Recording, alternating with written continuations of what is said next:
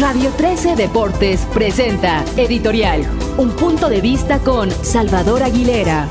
Amigos de Radio 13, me da mucho gusto saludarlos. En esta ocasión quiero platicar con ustedes sobre lo que le dejó a la selección mexicana esa visita a Columbus, sobre todo Primero, la derrota de dos goles por cero frente a Estados Unidos, pero hay que ir más a fondo, no solamente hay que ver el 2 por 0 porque me parece que ya el segundo gol era en una situación en la que la selección mexicana estaba volcada al ataque con solo 10 jugadores y que finalmente Estados Unidos, en algo que sale a hacer muy bien, que es contragolpear, consiguió la segunda anotación.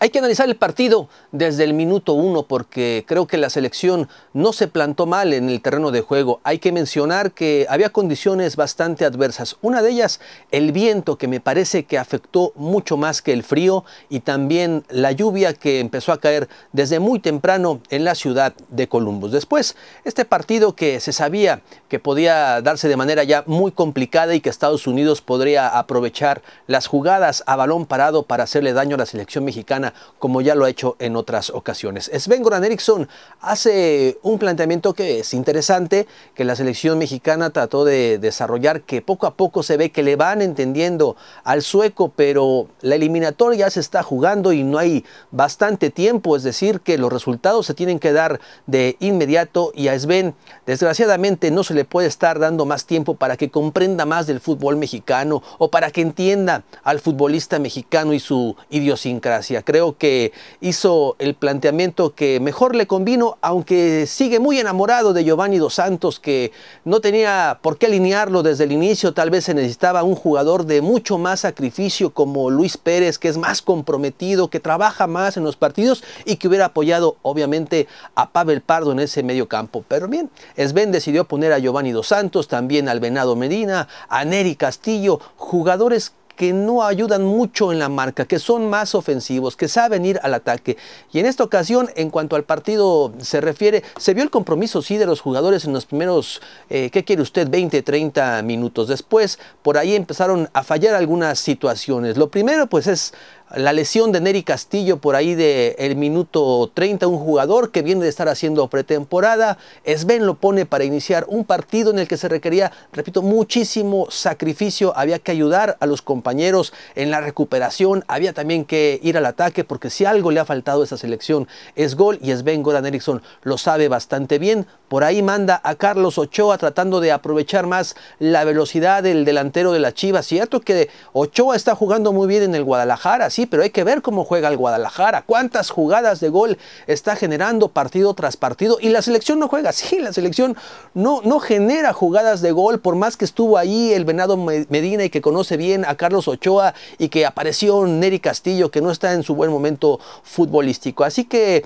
podemos decir que en el transcurso del partido Sven debió ajustar de alguna manera de cómo vio que se iba dando el desarrollo del encuentro. Para colmo de males, al minuto 42 se presenta una jugada a balón parado. La selección no tenía tres defensas centrales que me parece que ahí se equivoca Sven al solamente poner a Aarón Galindo y a Rafa Márquez. Se requería de un jugador de, de mayor estatura que también ayudara un poquito a defender. Viene el tiro de esquina, segundo y lo cabecea Landon Donovan, que no es un jugador alto, pero sabe bien cómo su equipo trabaja ese tipo de acciones. Y entonces vino el cabezazo de Donovan, mete el balón al corazón del área, ahí aparece Onyegu para meter un cabezazo, reacciona muy bien Osvaldo Sánchez, pero el balón queda a la deriva y Michael Bradley, que es el hijo del entrenador de Estados Unidos, Bob Bradley, aprovecha la ocasión para marcar el primer gol del partido. Con eso se van al descanso, México empieza a carecer de muchas cosas, sobre todo se viene